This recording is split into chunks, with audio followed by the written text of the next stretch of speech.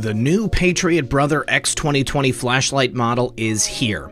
And with all the common threats nowadays to our freedom, the future of America is not promised and neither is your safety. One of the best things you can invest in for your home protection is a Patriot Brother flashlight. And why not purchase one of the best flashlights on the market? The Patriot Brother X2020 flashlight. The holidays are quickly approaching, and that is why Patriot Flashlight wants to extend a special 20% Patriot discount to all customers throughout the month of December. Patriot Flashlight is the perfect gift for you and your loved ones this holiday season. Supply is limited, and this is the very last chance to get 20% off the new 2020 model before they sell out. Take advantage now and give you and your family the gift of night protection. Please visit www.patriotflashlight.com. All right, good evening, everyone. You're listening to Red Pill 78. I am the corruption detector, and this is your Red Pill News. Joining me once again for a very special edition of the program is David Paulides, author of the Missing 411 series. He's got a new book, Missing 411 Canada, and it details some really strange missing people reports from the Great White North. Dave, how are you? Hey, great. How are you doing? Excellent, excellent. Glad you're here. Uh, so, just for anybody maybe watching that isn't not familiar with your work or with the Missing 411 series, please give us a, a brief synopsis. What is Missing 411? So, it started about eight or nine years ago. Some uh, park rangers came to me when I was doing some research at a park and told me about a series of missing persons cases that, in their jurisdiction that had them concerned. And they said somebody ought to look into it. And that was eight nine years ago now, and that's how it got started.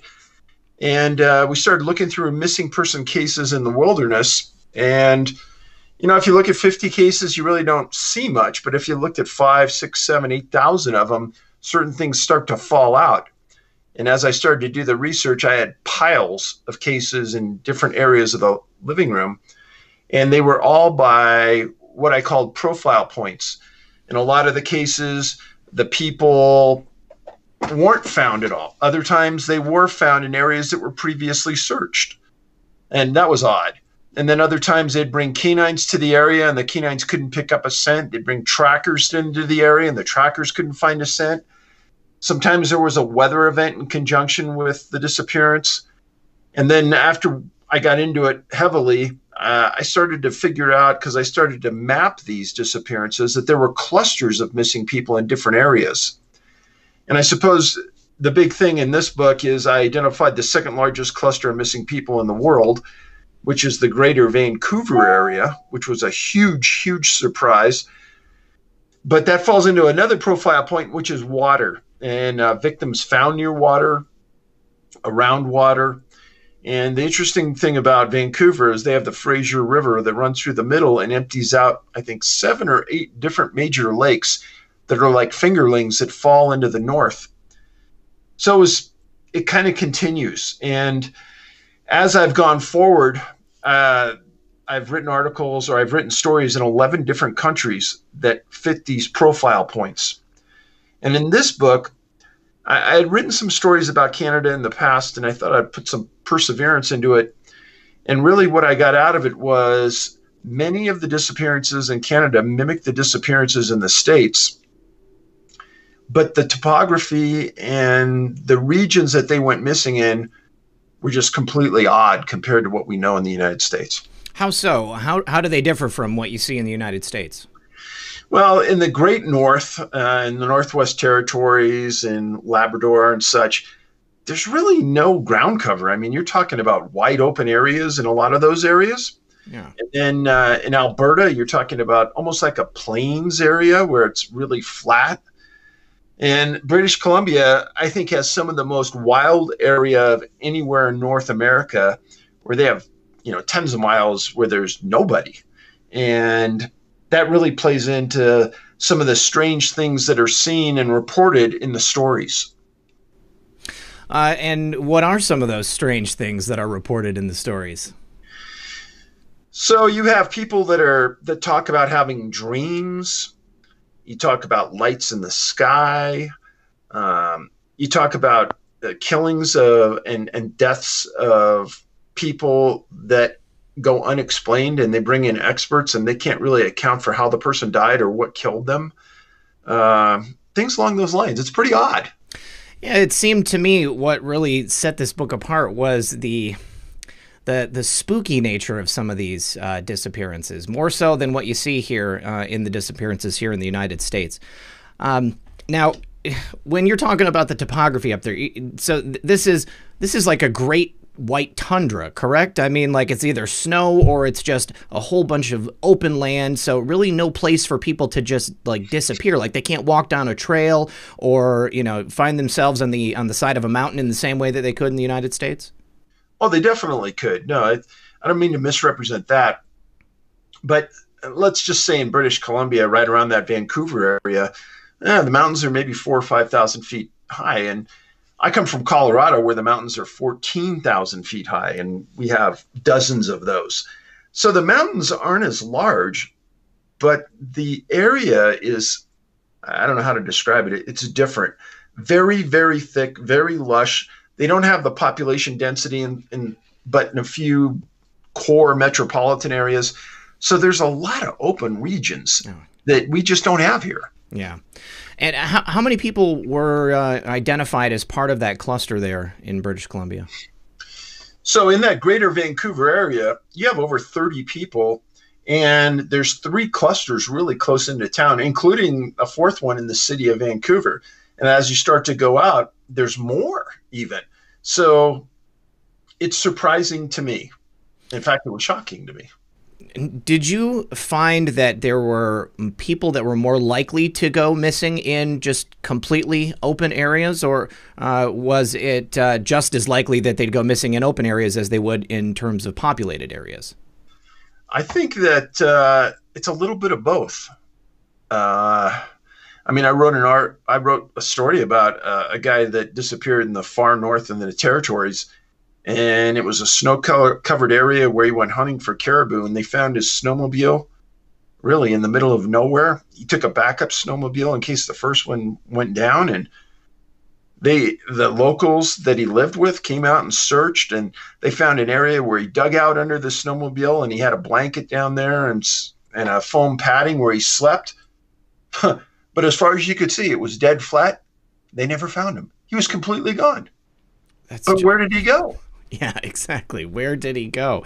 Where can, where do these people go? Did you did you find that there was any difference in the the number of people who had gone missing that were found versus just never recovered in terms of you know looking at the the, the cases here in the states? I do think that the percentages of never found are higher in Canada, and I'm not sure why that's the case. Um, but no, definitely a higher percentage. All right. And what about uh, signs of animal attacks? Uh, was it a- any more up there? Because I know that they have like bears and, and wolves a lot more so than they have down here in the United States. Yeah, they have they have many more deadly creatures up there than we do in the states. Uh, I mean, the grizzly bear only occupy a handful of states in the U.S., whereas in Canada you got whole areas of the country that are filled with grizzly bears. So no, it's uh, I didn't I didn't run into a lot of predation cases and probably because I knew exactly what I was looking for. I'm getting a little better with the research, so I, I won't stumble around too much. But no, not too much predation in these. What uh, was the reaction from the people in these communities where you've got clusters of missing people, or the family members of people who've gone missing? What, what do they think? It's a good question. Uh, we've got a policy that I don't reach out and proactively ask for opinions on cases unless that family reaches out to me. We were told early on in this research from missing persons groups, I asked them, I said, where are the landmines in this research? And what they said was, is if you're going to write stories about the missing people, then don't proactively go out and try to talk to and get information from the families or the victims because they will feel like feel as though they're being re-victimized again if you then go out and write a story. Yeah. So what I try to do is I, I try to glean all my information from official reports, archives, things like that. And then, unless the people contact me, and if they do, then obviously I, I have a lengthy conversation. And there ha- are a few of those cases in British Columbia. Would you be open to talking about any of those uh, people who reached out to you? Sure. There's there's a man that disappeared uh, just outside of Vancouver named Ray Salmon, and Ray was a hunter, and he went into an area near a lake, and he set up with his dogs in this campground area, very remote. And Ray was going to be there for a week, and he always took his dogs with him as a, a safety precaution. Well, on his third night in this campground, other people reported hearing gunfire. And I got to tell you, this is way, I mean, even though it's probably 40 miles from downtown Vancouver, it's light years away from, you, you can't drive there for a couple hours. It's, it's way out there in the middle of nowhere. Some other people heard gunfire. They called the RCMP. They come out and they don't see anything. And they see a camper there, and there's dogs in the camper. They start searching the area, and they find a pile of clothes right near the lake. And the lake is maybe a couple hundred yards from Ray's truck. And they go, that's odd, you know, because it's pretty cold out. Well, the next day, they bring in more RCMP and they start searching and the unusual part now is that Ray's wife, who had called me, said, Dave, when I was there, the RCMP shows up with a SWAT team and they're going into the bush. They're going into the forest with the SWAT team. And they're not saying a lot to her. And they said after the third day of searching that they think he's in the lake. So Danielle, his wife, gets a special underwater team that can drag this device behind their boat and see everything that's in the water. And they dragged it for well, they didn't drag it, but they pulled this thing and the, it's, the sonar showed everything for three days, and they said we guarantee he's not in the water. So here's the question: the, First of all, he never left the truck without the dogs because the dogs provided safety against bears. Mm-hmm. The dogs were in the truck. His clothes are on the beach next to the lake. He's not in the lake. Why would the RCMP put a SWAT team into the woods? And we filed a Freedom of Information Act request, and so did Danielle, against the RCMP and the government to get all the reports. And they gave us a copy of one report, three pages long, that is 95% redacted. and they told her that they they told the victim's wife they can't release information on this. That's crazy. You know, my next question was going to be Did you encounter any resistance when you were looking into any of these cases? What, did you have any other uh, opportunity to, to get resistance from the authorities while you were there? Well, I thought that was a pretty in your face moment. Yeah. And not that they wouldn't give me the information because I, I kind of understand that. But to not give it to a victim's wife, yeah, I think that's cold blooded. I would have to say either that or they've got something that they really don't want people to know.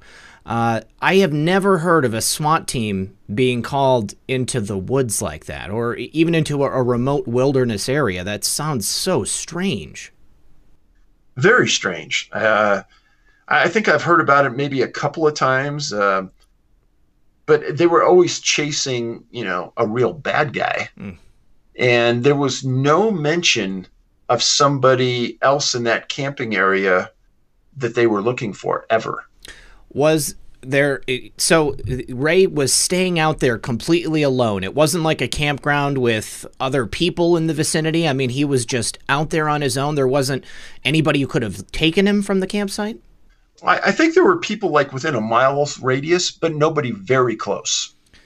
Yeah, that's not very that's not very close when you're thinking about camping. Uh, and his clothes were just left on the side of the lake. He is not he was not in the lake. Were there any tracks? Was there anything that uh, that that canines were able to to go after? No, and that's the another unusual part. Now, part of those profile points that I write about is missing missing clothing and missing shoes, and that's pretty common. And people will say, oh, you know, it was hypothermia. Uh, no, because Ray could see his camper truck from the beach where his clothes were. So hypothermia didn't even come into play. Hmm. Like he just disappeared. Yeah. We've got a couple of different cases like that in this book, Dave. Uh, there was several cases that I wanted to talk about specifically. Let me just take a look at my notes here. Uh, there was a cluster of three in Manitoba, and I, I, believe there was more than that, but I, I wanted to kind of jump around. Uh, Betty Wolfram, she went missing back in May of 1934. Uh, do you do you have you found that record keeping was better the further back you go uh, because there's no authorities to, to hide those cases, or uh, is it harder to do because they're so old? You know, the further you go back, it seems like the less restrictions they placed on their reporters for talking freely. Because in those 30, 1930, 40, and 1950 articles, you'd find things there that you won't find today. Yeah. And uh, I, I was actually pretty surprised at some of the articles that you were able to find. It, it did seem like people were more willing to talk about it, perhaps because they didn't quite understand what was going on, and there was really no other way to spread information. But Betty was another one of those cases that had missing clothing. Can you tell us about her? Sure. She was a four year old girl, May 15th, 1934, Moosehorn, Manitoba. It's a it's a lonely, isolated city about 120 miles northwest of Winnipeg, and it's directly north of North Dakota. Uh, this community, predominantly farming, very flat. Uh, the family owned a small farm on the outskirts of Moosehorn, southwest of a small city called Spear Hill. Well, on uh, May 15, 1934, Carl Wolfram, a German, put sleeping Betty in a small carriage in the front yard of the farmhouse. And he went into the adjacent field to start seeding the ground for a new crop. Well, that region around the farm had a lot of swamps, large fields, dusty dirt roads, and again, it was dead flat. Well, on this date, Carl didn't see anyone driving on the roads, didn't hear anything, didn't see anything.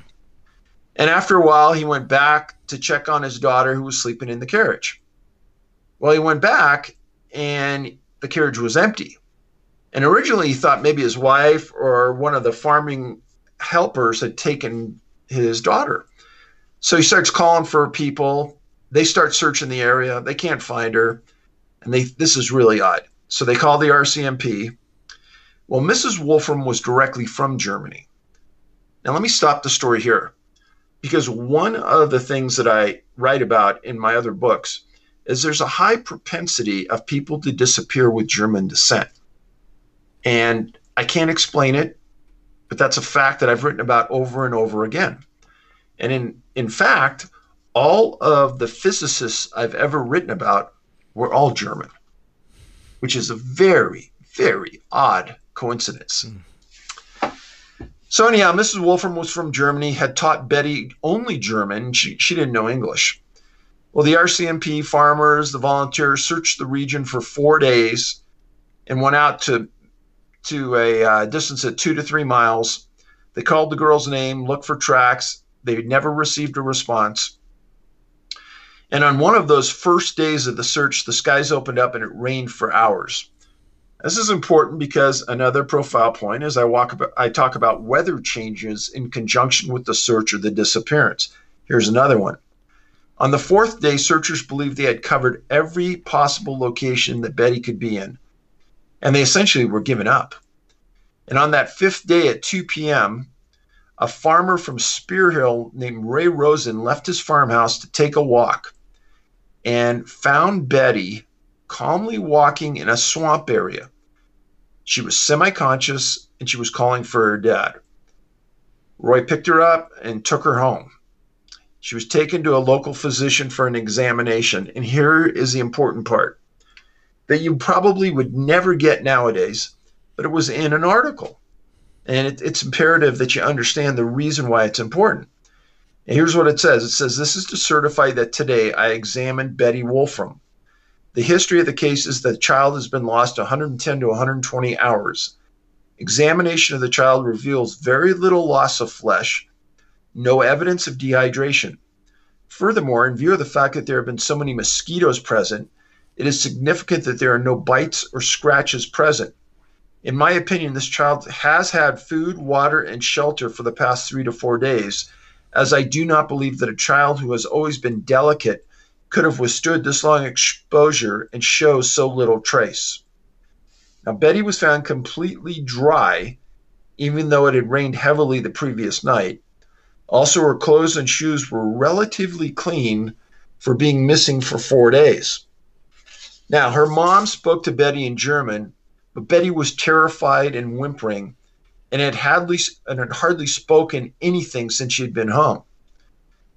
Now, a side note George Romaine was another neighboring farmer, and he had reported several of his cows had returned from the field milked, a very odd coincidence during the time frame that Betty was missing. Now, the RCMP interviewed the farmer who found Betty. That was Roy. He admitted he went straight to the spot where the girl was found. He said he didn't expect to come back alive, or if he did come back, he'd be all broken up in his in his words. You could tell by the style that the reporters were writing in that Roy knew a lot more than what he was saying, but wouldn't say exactly what he was encountering. The RCMP went to the spot where Betty was located many times and found nothing. Nothing was found as though something was living there. Nothing was found as though someone had lived there. Zero was located. There's no way someone could go into or out of this area of Moosehorn without people seeing the stranger. It's impossible because it's so flat and the roads were so obvious. Well, someone fed and gave water to Betty. It's obvious. She was terrified for some reason. She didn't know how to milk a cow, and she was too small. So if Betty hadn't and didn't have mosquito bites, she had to have been being sheltered, but where since no shelter was ever found? And what was the secret behind what Farmer Roy was harboring? This one just absolutely stunned me because it's so clear that Betty was taken care of by someone. Uh, there's there's no way a child uh, of that age is going to be able to survive in the condition that she did out in the middle of nowhere in Canada. And and then you throw in the fact that there's obviously some knowledge of some type of danger. Uh, I just this is the kind of thing where you wish you could go back and speak to these people directly. I bet this uh, it's got to be frustrating sometimes. Oh, I I think I'd have a million questions for what happened. And I don't know that if I would have been the RCMP on scene, I would have given these farmers such a easy pass on their story. Now, do I think that the farmers played any part in the disappearance? Absolutely not. I mean, these guys lived very close by, and I, I think in the end, if Betty got her wits about her later on, and it was the farmer that took her, she would have said so, and they would have arrested him. That's why I, you just know it wasn't him. Yeah, it was something really, really unusual that came into play here that obviously one of the farmers knew about because of his description of going in and thinking he wasn't coming out. Mm. But what was it? And going in was he? He's referring to the swamp there. He had to have been. Yeah, yeah. And just by coincidence, when we talk about water, in many of the books I talk about, there's swamps and bogs are associated with these disappearances. And why is that? And I and I think there's an, a pretty easy answer, is that most people won't walk into a swamp. That's right. Stay away from it. So if you're going to try to hide yourself from the general populace and it was a big swamp, put yourself right in the middle of it. That would be the place to go. It's, it, it's uh it's confounding to think what could possibly be the reason behind something like this happening. Well, what did you think when you read it? I mean, thinking that she's out there in the middle of nowhere, she must have been sheltered, she must have been fed. I, I mean, I hesitate to say because I don't want to sound like a loon, but I, I, I mean, it, it's obviously not a farmer. It's obviously not a friend or a family member. Uh, it, and if somebody's milking the cows, I mean, that makes me think that there is a creature or a, a being or something out there, uh, perhaps not fully existing in this uh, this dimension or something like that. Uh, you know, I mean, I know that there is so much out there in the world that that we're not privy to. You know, we just don't have the knowledge. Uh, maybe there's things out there that we can't see. but I immediately think of some type of being that has the ability to hide itself, uh, that has the ability to, you know, go in between and, and slip through the veil, if you want to say. Um, it, it, it reminds me of the one case where the gentleman went missing in the desert and the woman was walking on the path and she heard him. She heard him calling for help but he was nowhere to be found. So how is his voice there on the trail? Uh, it it makes me think that there is some place that these people are going that we, as you know, as regular people, are unable to get to. Yeah, and I think that's a pretty logical way to look at it. The, the other case you were talking about was that one out of Mesa Verde National Park where yes. a reporter heard somebody calling for help she herself looked for the man, couldn't find him, and then second and third times they sent search teams in there. They they never did find the guy. Yeah, yeah, but he had to have been there. I mean, it's not like you know, unless there was a, a speaker set up someplace. But I mean, I, I can't imagine that that's the case because they would have found the speaker. They would have found some method for him to be, you know, distance uh, dropping his voice in there. Uh, so eh, the other thing that it made me think about, of course, is uh, you know tales of in, interesting things happening with cattle and, uh, and, and UFOs. You know, I mean, the lights, uh, you know, around livestock, livestock coming up missing, uh, livestock uh, coming up with incisions, surgery, things removed. And that's something I've always thought about with these cases is that is there an extraterrestrial component to it? Um, but at the same time, it seems like maybe there's a, a like a, a, Bigfoot component, you know, and and, uh, and but that blows my mind because are those two things related? Well, if they are, then it changes everything, really. yeah, and there you go. People would be calling you a loon for saying that out loud, but yeah. I don't I don't think that's so loony when you look at the DNA that we found in our study on Bigfoot. So, whoa, can we talk about that? glad to talk about it on another show. Okay, all right. I'll, I'll, definitely be having you back to speak about that. That's incredible. Well, um, what about uh, what about Florence Spence? This wasn't long. What was it? Long. It was right after. Yes, it was. It was not long after uh, Betty went missing. Just a couple months later. Yeah, it was a that 1934 summer in Manitoba was really, really odd. So you had Betty Wolfram, who disappeared May 15th, 1934. Florence Spence, a three year old girl, disappears August 5th, 1934. So about three months afterwards.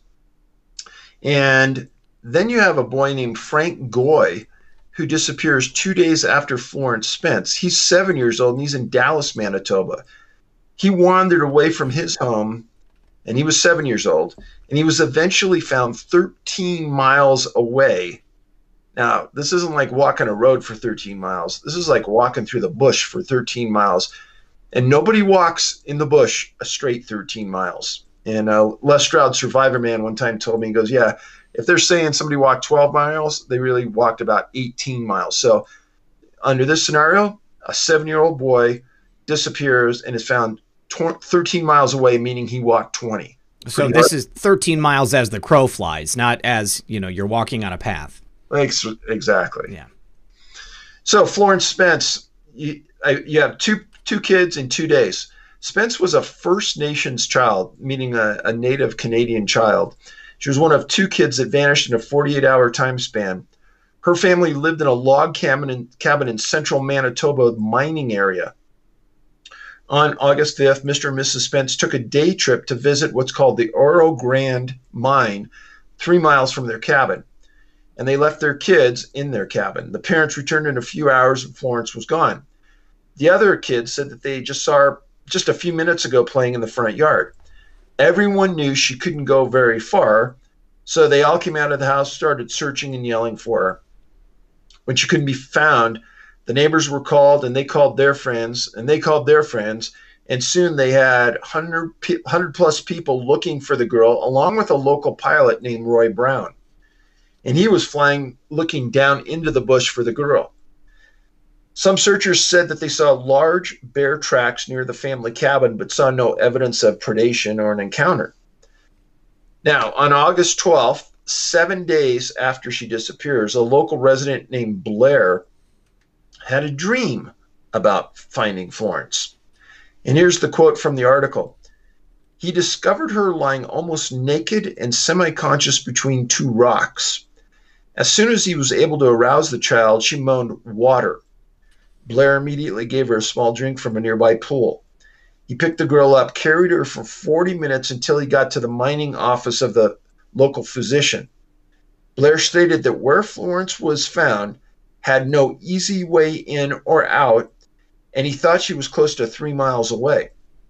The night before Florence was found, coyotes and wolves were heard yelping in that area. The day she was found, the headlines in the paper were quoting, Searchers abandon all hope of finding child missing for five days. Many believe that Florence had been consumed by a bear.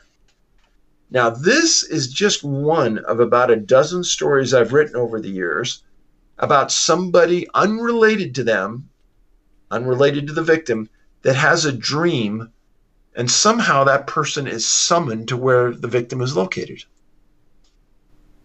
That one really got to me. because it it throws in just a another level of supernatural to this whole thing. Uh, you know how how can you explain someone having a dream about someone that they're not even acquainted with, not related to, and then they are led to an area that they should not be? Uh, it's almost like he was drawn there in order to find her before she died. You know, I've I've, heard, I've gotten a lot of feedback on these stories that I've written, and uh, the common wording that I get back from people is that person was summoned, mm. and it's it's really hard not not to agree with that because yeah. how would you in it? it's like a billion to one shot, three three miles away in the middle of the bush, and you just walk to the exact area between two rocks, and you just happen to find this girl. I don't think so. I don't no. think luck plays into this. No, it, it definitely feels like there is some level of intervention going on here. Uh, it uh, I just I, I can't I can't imagine any other way that this is happening. I mean, there's some type of intelligence in my mind behind what's happening, how these people are disappeared, uh, and uh, also in how they're returned. Um, because they're they're certainly not going missing by any normal or natural method or means. What also tells me that whatever happened to Florence, she was meant to come back to her parents. Yeah. She wasn't meant to die. Now, you you mentioned that uh, she was she was a First Nations child, so she was uh, Native American or Native Canadian, I guess. Um, was there very many cases of uh, of people from Native Canadian tribes that uh, that went missing, or did uh, was was this an isolated case among many? This was a pretty much an isolated case among many. Uh, one of my best friends is a Cheyenne Arapaho Native American chief. His name is Harvey Pratt. And Harvey was the number two person in the, at the Oklahoma Bureau of Investigation for years. One of the smartest men I know and one of the most polite people you'll ever meet. But anyhow, Harvey and I had, had have had talks about this. And he said, Dave, when I was a small child living on the reservation, we'd go away for weekends and we'd sit around the campfire and we were always told never to walk away from the fire, never get out of sight of that fire. And he said that they were always told that that there were bad spirits out there and they would take you. And he said at the time, I always told them as I got older, ah, you know, they're just trying to scare us so we wouldn't get lost and this and that. And he goes, yeah, you know, looking back on it, in as many cases as, as you've written about this kind of stuff, maybe there really was something to it that that these stories generated from.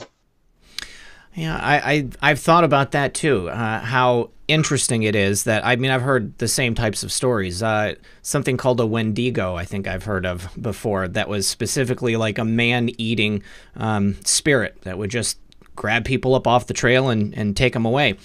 Uh, and I, you know, it, it's uh, it's. Um, I'm not surprised to hear that there's not very many missing native people because this type of thing does get passed along and, and they tend to be a lot more connected and in tune with the land and with their surroundings. Uh, you know, I would think quite uh, uh, you know it's quite strange that that the most people that go missing or that the largest percentage of a single uh, type of person being German going missing. Uh, it, that seems to have something to do with their specific level of intellect. I mean, you know, physicists are a rather select group. Uh, German physicists are an even more select group. And for them to all go missing in this type of manner, that's an even weirder coincidence. And I just, there are no coincidences in that case, I think. Well, getting back to the Native Canadian people, there is right now a huge investigation going on in northern British Columbia. It's called the Highway of Tears case, and many people have probably heard of it, but it's yeah. a series of Native American women who have disappeared along this highway in central northern British Columbia and it's been going on for decades. And the RCMP has a task force that's been working this for many, many years, and they they've never arrested anybody, but it all points that it's a serial killer that's targeting these women along this highway. Mm-hmm. And then uh, there's also been uh, a new investigation that started recently about the disappearance of Native American or Native Canadian children. And that's really been held pretty close to the vest, and there's not a lot of publicity about it. So I, I can't speak directly to that. But that the Native American women that are missing along that highway of tears, there's a lot of publicity about it, and hopefully someday they'll catch somebody. Yeah, I, have I've actually heard about that case for, or you know, that that cluster of cases for a long time, and it always struck me as, um, you know, not too surprising if somebody wants to, and you know, if somebody wants to be a serial killer, uh, that seems like a pretty good place to go, just based upon the remoteness of it. You know, how much land is up there. Uh, if people are hitchhiking along a desolate highway, then it seems like easy pickings, unfortunately. Yeah, unfortunately. Yeah, yeah. Well, what about uh, Jack Pike? Jack Pike was another one in this Manitoba cluster, and it, you know, about a year after um, Frank and Francis. Yeah, uh, September 5th, 1935, Jack was five years old from an area called St. Norbert. Well, the family took a berry picking trip to St. Vital. It's in the southern part of Winnipeg, and they went to go get blueberries. Now, in Missing 411 Eastern US, I wrote about an entire series of berry pickers that disappeared. Mm. So, this is a subgroup of people that actually have shown to disappear doing a specific uh, practice in the woods. The family exited their car, and Jack took off running through the berry patch, and he quickly got out of sight. And Mrs. Pike told the news that her boy was missing just a few minutes when she heard a scream, quoting, as if he was terrified, the scream seemed to be choked off in the middle. The Pikes ran a 100 yards toward the scream and found nothing. And people who read my books always like to know the religious affiliation to the story. And when I can give it, I do give it. Well, this family was on a religious site, and it was the Trappist monks' monastery near the Red River in southern uh, Winnipeg. Now, once the Pikes couldn't locate the boy, they called the police. There's a massive search of police officers, search and rescue personnel. Over 2,000 of the locals came the banks of the Red River were searched, bushes, everything was combed, like relentlessly. On the fourth day, a man found Jack under a bush on the opposite side of the Red River. The boy was unconscious but alive. He was rushed to the hospital where he was given stimulants, and the father gave him a pint of blood. At one point, Jack awoke and said, Hi, Daddy and then quickly faded off and died a few hours later. Police and searchers were stunned about how Jack could have gotten on the opposite riverbank because he wasn't wet or muddy. The police stated that they could not find any evidence of an abduction or kidnapping, and they stated that he either died of exposure or dehydration. But here's what everyone I, I need to people need to think about is you have 2,000 searchers in this area for four days. How could this boy get in and out of that area and then be under a bush, not wet, on the opposite bank of a river? And obviously, something happened to him that caused him to scream. Kids just don't scream on their own unless they're scared of something. So, what happened to Jack Pike? What I was really wondering is if there was any types of marks on his body. I mean, a child stop being stopped from screaming, it, it, it elicited the idea in my head of someone grabbing him around the neck, maybe you know uh, covering his face, but there was no reports of anything like that. Nothing. Which is suspicious. I, I, I would grant you.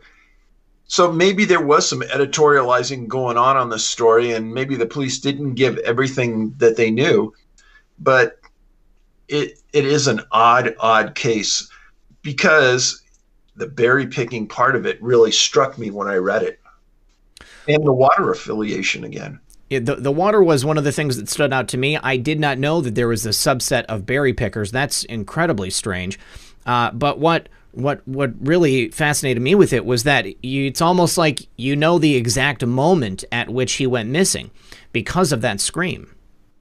Absolutely. Yeah. imagine if you were the parents and you heard that, and you find your boy four days later and he regains consciousness for a few minutes and then dies. Uh, that that would just I'd be horribly upset for the rest of my life. Yeah, that would be super painful. As a father myself, I yeah, that that's another reason that I picked that one because it would be horrific, horrific. Well, uh, how about uh, Geraldine Huggin? This is uh, moving on now to Ontario. Okay, so uh, this is in 1953, July 5th, six miles west of Minaki, M I N A K I, five years old. The Huggins left their home in Winnipeg for a six week summer vacation they brought their three daughters to Wade, W A D E. It's a small city, and there was a cottage belonging to the grandparents. The region is really swampy, with the Canadian Railroad passing near the cabin. On July 5th, 1953, the family was gathering in the front yard of the cabin to make a trip to a local lake. Now, Geraldine was on the side yard, and her two sisters were in the front yard. She was out of sight for about 10 minutes and vanished. The Huggins searched the area around the cabin, yelled for their daughter. Girls all were looking. Nobody saw anything. Nobody heard anything. And Geraldine never responded to the calls. Now, if you stop there for a second, in heavy bush like this, how far can a little five year old get?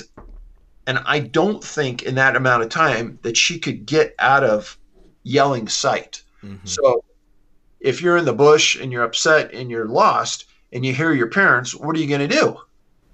Probably run to them, call out for them, yell back, right? Yeah. Well, they don't hear. They don't hear anything. So uh, they they call the RCMP. One officer from Minaki arrived and immediately called for the First Nations tracking team to assist. A very smart move. And the First Nations tracking team was a group of Native Canadians that were just like the absolute experts at tracking anybody through anything. And just as the search was getting started, heavy rains inundated the area, and a call was made now for the Army to assist and respond from Winnipeg. Mr. Huggins told the searchers that his daughter would never wander and would just sit down and cry. But the story wasn't adding up because they kept searching outer and outer areas from the cabin and weren't finding anything and weren't finding any tracks. On the third day, trackers found what they believed to be Geraldine's tracks high on a ledge near an area called Fox Lake. There were now 200 people looking in this area with an RCMP plane and volunteers. The search continued now on to seven days, and they still had found nothing to point specifically to the young girl. At this point, a prospector named Harry Hawes joins the search effort. He had found two other boys in the past, and he said the girl would be found near Long Lake, but he never said why. Now, going into the ninth day of the search, the First Nation trackers were not giving up, and they found a small, small piece of cloth on a bush that they believed was Geraldine's. And they took it to her parents and they confirmed that it was. So now they're getting closer. But the girl was a long ways away and apparently still moving after nine days, which made no sense. Mm. Day 10, searchers were on the far side of Long Lake near the railroad tracks, and found what they thought was Geraldine's remains. Now, be you got to real listen carefully to to the wording on some of this.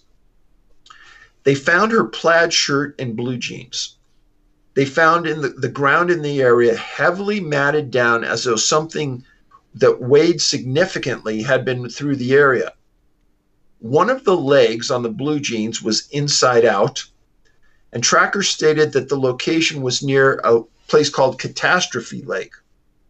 They also stated that there was not enough remains left for a proper burial or inquest.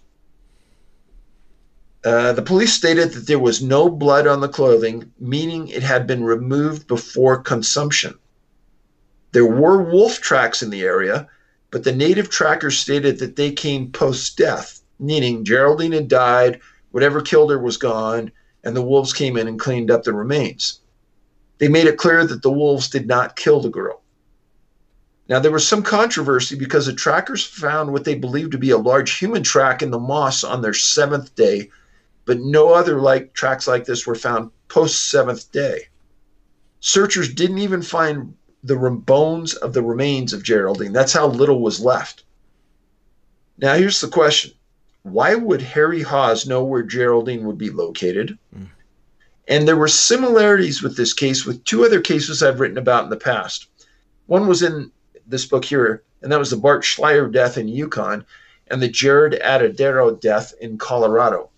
And what was familiar similar with those is clothing was found of those two victims, and their clothes were found inside out. In Schleyer's death, the press said that a bear had killed him. I personally talked to the resource officer that did the investigation. He said it was a blatant lie. He says it was the strangest case he's ever taken on in his career, but he goes, a bear did not kill Bart Schleyer. And then in the Atadero case, the sheriff said, oh, he was killed by a mountain lion. And four different mountain lion experts were interviewed by Mr. Atadero, the father of Jaryd, and they specifically said, we guarantee a mountain lion didn't kill Jaryd. Now, in Geraldine's case, what took her and what killed her. What really creeps me about, out about this one is that they th- you, you say they thought they found her remains, but but there's no blood, there's no bones. Uh, what happened to her blood? There is there's no creature or animal that I know of that removes all the blood from its victim prior to consuming its its body uh, and uh, and discarding of all of the evidence. Uh, and then you've got the large footprint uh, and the matting down of the area, which both of those things uh, seem to indicate a large hominid, somebody of you know big stature. Uh, and then you've got the the the it's the the animal the animals coming around to eat it, but then there's like nothing there to even indicate that there was an animal attack. It's just, uh, again, a baffling case. What do you think about that one? So, I, maybe it was the way I worded this. There was no blood on the clothing, but there was never anything said about there wasn't blood in the area. Oh, okay, okay. But the, the significant part to me was wild animals do not remove your clothing before they consume you. Yeah, exactly. It, say a grizzly bear is going to attack you, they're going to eat your clothes. They're going to eat everything in you. And then what they'll find is they'll find your clothes in the bear's scat. Mm-hmm. Now, in this incident, the native trackers, I think, knew a lot more what about what was going on and didn't say it. Mm-hmm. And that's unfortunate. Or maybe they did say it and the RCMP filtered it and edited it and wouldn't let it out. I don't know. But I think that it's it's very very odd that in those three cases that I cited, the clothing was off. There was no blood on the clothing. The pants were inside out. So what's at play here? What could be removing clothing from people unless that it had hands? Exactly. hands. Hands. A hominid. Uh, have you ever thought about trying to specifically interview uh, First Nations peoples about these types of disappearances to see if it maybe they have any information that that no one's asked them about? So I'm specifically going to British Columbia the day after Christmas for a week. And I've got a whole series of interviews lined up with those exact people. Oh, wow. I'm really looking forward to hearing what you get back from that. Is is that going to be for uh, another film project, or is that for a separate uh, book project? It's it's sort of just uh, informational gathering right now and see where it goes. Okay. Well, like I said, very interested to hear about that. Um, what about uh, the case of Jessica Azzopardi? This was in 1985, so a little bit more recent. And yeah, I'm interested to to see how the evidence stacks up between these cases that are you know 50 and 60 years apart. So Jessica was only 20 months old, so she was just barely walking. July 24th in Elmstead, Ontario, and it occurred on the banks of Lake St. Clair, and that is two miles east of Windsor Ontario, and that's two miles from the U.S. border in Detroit. Mm-hmm. And this lake kind of forms the border of these areas. And the mother, grandmother, and little Jessica were at their house at the lake, and the kids were on the side yard picking onions. Well, Mrs. Azzopardi started to look for Jessica, couldn't find her, but then as she looked towards the lake, she, which is obviously water again, Jessica, she found the Jessica's diaper sitting about 50 feet from the lake. Now, everyone in the family knew that Jessica would never go near water, and she was afraid of it. Hmm. Well, a neighbor was across the street mowing the lawn and stated that nobody had driven down the street and he hadn't seen or heard anyone in the area. Well, it was at this point that the family decides to call the RCMP. The U.S. Coast Guard responds, along with helicopters from Canada and the U.S., and boats from both jurisdictions were converging on the home. And within an hour, the RCMP started to believe that Jessica had been abducted because there was no evidence where she was located. So at 7:30 a.m. the following morning, Jessica's body is found floating six miles from her residence. So the RCMP immediately put out a statement that her body could not have floated to this location in the 16 hours based on the currents. An autopsy was done and stated that Jessica had died 90 minutes before she was found. Now, where, where was she for 14 and a half hours? They listed the cause of death as drowning. Now, please don't let any listener believe that someone dropped her body in the lake at 6 a.m. with dozens of police, Coast Guard, and RCMP combing the area for the body. That would be completely insane. Yeah. But how did she get there? Now, I wrote a book. It was the fourth book I ever wrote about this called Missing 411 A Sobering Coincidence. And in that book, I highlighted a series of young men who disappeared in many times a college atmosphere, at a dance, at a bar, sometimes at an athletic event, and they disappeared right in amongst other people. And then they were found days later deceased in a river, pond, lake, and there was never, never a good explanation how they got there. There were never any witnesses. Nobody ever saw them leave the location. Nobody ever saw them get in the water. Now, what happened with that was is that a lot of these cases came out of Wisconsin, and some of these families were pretty well to do. And when the autopsy came back that the person drowned, in a few of these cases, the parents said, I don't care if my son was even 100% drunk and you put him in a water, he swims like a fish. He's going to save himself. Even if it's frozen, you're going to be able to swim some amount. So they didn't believe the, the determination on the cause of death.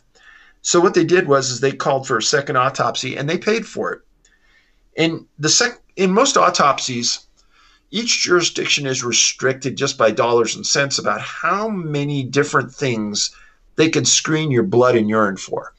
And there's usually a list of 24 different drugs, narcotics, and things. But one thing that they weren't screening for was something called GHB, which was known to you and me as a date rape drug. Now, in two of the autopsies where the parents called for a second autopsy, they found extraordinary levels of GHB hmm. in their son's blood. And nobody could figure out how it got in there. Now, when I was a policeman, I knew a little bit about this. And GHB will allow you to stay awake. and you know what's happening to you, but you can't do anything about it. It's like you're paralyzed. Isn't it? Is it considered a hypnotic? Not really hypnotics. It's more of a paralysis like drug. Okay. You can't respond. Yeah. But you're cognizant of what's going on. So if I take you in the in those conditions and I put you in a body of water, you're going to die of drowning. Mm-hmm. And every time I hear about a death in water where it's drowning under weird circumstances, I always think of this because I can almost guarantee in Jessica's case they never checked for GHB.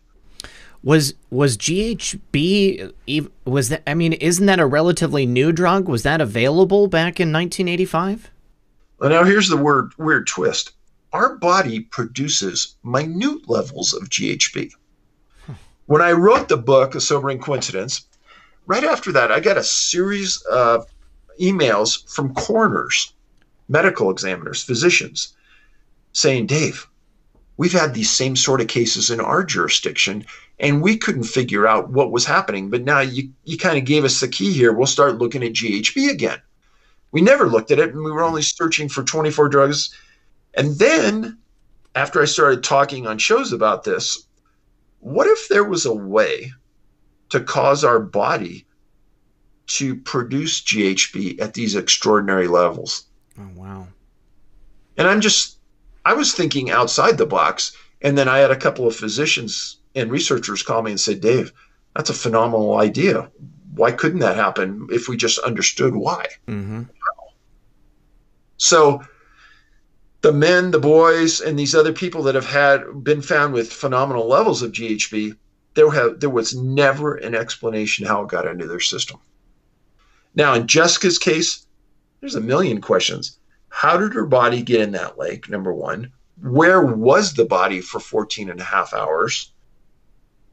And then what were what was the condition of the body? Because they never released that. Were there any marks? Was there mm. was there anything that we should know? And then one of the big things that I'm always interested in is that when somebody's gone for 14 and a half hours, if you haven't eaten anything, your stomach should be about empty. Yeah. What were those stomach contents? but none of that information was available? No. That is very scary. I mean, the the fact that there were so many people around, and uh, with the location of where the body was found, if she was with someone, then it seems that it would have been pretty obvious that they had placed her there just don't even know what to think. That's a great idea, though. If if there is a physiological production of GHB in your body, if someone could induce the production uh, in order to kidnap you, that would make it really easy to do. Oh yeah, and uh, most people didn't know that the body does produce it in minute levels, but it, it's very strange. No, I had never heard of that. I had never heard of that. Well, Dave, we've got just one more case that I wanted to ask you about. Uh, Emile Irazola. Did I say that correctly? I think that's pretty close. Okay, okay. And he was from Montreal. This is going way back again, back to 1927. Four year old boy, May 25th. It was Emile and his brother Francois and his aunt Lucienne. They went for a walk around downtown Montreal on the afternoon of May 25th. Well, as they're out on this walk, there's a massive rainstorm. And the aunt and the boys didn't come back to their home when the parents thought they were supposed to be there. And the police were called, and a missing person report was filed. Now, the following morning, May 26th, Lucienne and Francois were calling the police for help as they were lost and disoriented. Lucienne stated that she had lost her memory, didn't know what had happened. She didn't know what they did, where they had been all night, and had no idea where Emile might be. Francois was interviewed by detectives, and that he remembered cro- thinking he remembered crossing a deep creek and losing his brother in the water. Police said the story wasn't making any sense for anyone. So 100 police officers were assembled and started to search the part of the city where they found Lucienne. And they started searching parks, parking lots, everything. Well, the police did find Emile's pants turned inside out and torn to shreds. Several ponds in the area where they found the pants parts uh, pants were emptied in an attempt to locate the boy. On the second day of the search, the police found Emile in a field. He was wearing just one stocking. The coroner stated he'd been dead for two to three days. Now, what's interesting is that the police noted that there were no tracks leading to the body in the mud, and the police couldn't determine how he arrived at that location. If the boy had just stood up at the point he was found, he would have seen one of the busiest streets in the city of Montreal. The coroner stated it was accidental death, but no cause of death. He was missing for a total of four days. Few questions. How did Emile get into the field? Why aren't there any tracks? Why did the ant lose her memory? There was that big weather event. Emile was missing clothes, and there was an unknown cause of death. This is a case, even though I write mostly about incidents that happen deep in the wilderness, this was a case that happened right in the middle of a city that fit the criteria to a T. And I think it was worth mentioning because there's so many of those profile points that came into play. Yeah. I, I, thought it was kind of a perfect storm of all those profile points, uh, just incredible. Now, what really, uh, you know, made me think is is his uh, his his aunt having a lack of memory, having her, her own memory loss. Have you seen that in any other cases? Other people that are associated with these missing people that also have memory loss or anything like that? Many, many of the people who go missing that I've written about that are later found alive have no memory about how they went missing, where they were when they were missing, or how they were found. But did they have people associated with their disappearances who also uh, had memory loss? No. No. Okay, so this is unique. Well, very interesting. Very well, interesting. It, may, it might have been unique, but I consider Lucienne one of the victims here. Okay, all right. So I, I think she was I think all three were at play in this disappearance because they were all missing for a while. Okay. Yes, I guess you're right. Yeah. I was uh, I was just thinking about the fact that Emile was the one listed there, so I didn't know if uh, the other two were necessarily part of that. Uh, and the fact that it, they went missing in the middle of a, a city, uh, that once again you've got what appears to be the person just dropped wherever they're found with no obvious method of them walking there or you know falling there running anything like that. Uh, it's it's like they're just being deposited there. That's what i think when I, I, I see them being dropped out of the sky. It's tough to come up with some other scenario that fits. Yeah. I mean especially next to a, a real busy street uh, you, you could kind of think, okay, well, maybe somebody was flying in a helicopter in 1927 and dr- hovered and dropped right next to a busy city street, and nobody on the street saw any. Yeah. It, none of the scenarios make a lot of good sense, but it's very difficult when there's police specifically made a note that there were no tracks around the body. Well, Dave, in writing this book about uh, these Canadian uh, cases, was there any one thing that you discovered uh, during the course of this research that surprised you over and above what you've seen in other places? Well, I, I do think that this British Columbia scenario eh, that struck me hard, and this is the first book I've ever written where we included a full size 24 by 36 inch map, which I really appreciated. Thank you. Now, did that help you understand the areas where the people went missing?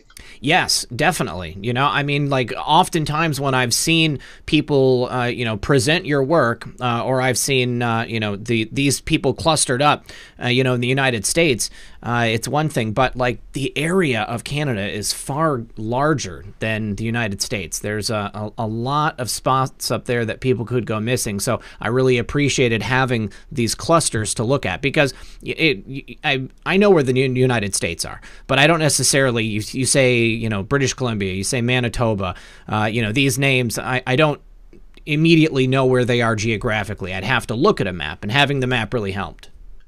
And that's the why that's the reason why I included it with this book is because for me visually seeing it and then associating the other disappearances in proximity, it helps me understand how serious these disappearances are. And I mean, just the how odd is it that in 1934 in Manitoba we have three kids who disappear in three months? Right. right. I mean, I think that's extraordinarily strange. And trust me, I, I scoured archives looking for anything similar to that in the previous 50 or post 50 years.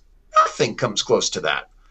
And the same thing in British Columbia, where we have these small kids and even adults disappearing on a mountaintop eight miles outside of Vancouver, and there's six people missing on one mountaintop that's only 4,000 feet tall. It makes no sense at all. What about the authorities? Was there anything to indicate that anyone had ever made the connection that there could be some connection between any of these missing persons cases? So, British Columbia, their coroner's office has an online site of unidentified missing bodies. Hmm. But I don't think anyone has ever put together the names of the people who are missing and put pen to print like in a map so you can look at it and see, oh, wow, there's a lot of people missing that close to Vancouver. well, it's a good thing you came along. uh, it'll be interesting to hear some of the uh, feedback from from the locals. I mean, the other day I was on Coast to Coast, and uh, it there were some people who did call in. One person specifically from Vancouver and said, uh, "No, Dave's right. There's a lot of people missing from the city, and nobody really wants to talk about it." Wow. Uh, what do you think that's about? Do you think that's a matter of pride? Do you think that's a matter of secrecy? That's a good question. I, I, I think that government officials don't like to publicly talk about anything that they can't give a reasonable answer about. I think it makes them feel inadequate and uncomfortable. So the best way in their mind, ignore it and walk away from it and don't even talk about it. Maybe ridicule it if you have to. Sure, I think that'd be an excellent way. Yeah, I see it happen all the time. yeah.